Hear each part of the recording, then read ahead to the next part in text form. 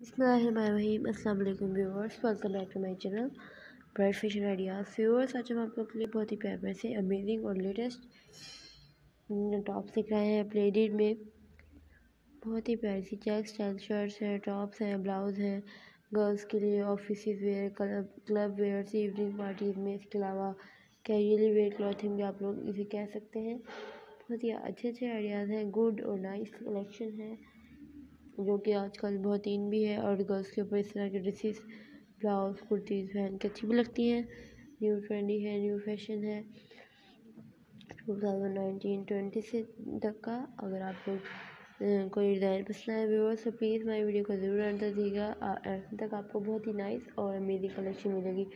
Dresses के लिए बहुत अच्छे अच्छे आइडियाज़ मिलेंगे। कैसे आप अपने ड्रेसेस को एक न्यू और स्टाइलिश लुक दे सकते हैं, इस तरह से। सिंपल ड्रेसेस को एक न्यू देना चाहते हैं तो बहुत सारे आइडियाज़ हम आप लोग लिए लेकर आते हैं। अपडेट कर सकते हैं आप लोग अपने ड्रेसेस को इस तरह के डिज़ाइन देखकर। ट्रेंड डिज़ाइन है, क्योंकि अगर आप लोगों ने अभी तक हमारे चैनल सब्सक्राइब नहीं किया है व्यूवर्स तो प्लीज़ सब्सक्राइब कर लीजिए बेल आइकन पर प्रेस कर दीजिएगा। इससे जो आप लोगों को बेनिफिट में व्यूवर्स ये होगा कि हम लोग जैसे जैसे वीडियोज़ बनाएँगे डेली बेसिस पे, आप लोगों को हमारे वीडियोज़ की नोटिफिकेशन मिल जाएँगी। डेली अपडेट्स मिल जाएँगे। कि हम लोग इस टाइम पर कौन सी वीडियो लगाइए आप लोग देख सकते हैं। Different design different ideas different trending collection हमारे चैनल पर।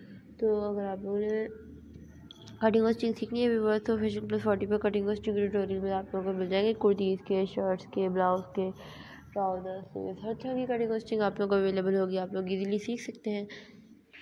तो व्यूवर्स अगर आप लोगों को हमारी वीडियो अच्छी लगे तो प्लीज़ लाइक और शेयर ज़रूर कीजिएगा। कमेंट्स भी करके बताइएगा कि आप लोगों को हमारी वीडियो कैसी लगी।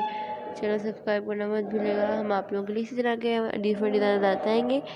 चैनल का विज़िट भी कीजिएगा। बहुत सारे आइडियाज़ आप लोगों को मिलेंगे ड्रेसेस के कलेक्शन के। वीडियो देखने का बहुत शुक्रिया व्यूवर्स मिलते हैं अपने नेक्स्ट वीडियो में। अपना बहुत ख्याल रखिएगा, अल्लाह हाफिज़।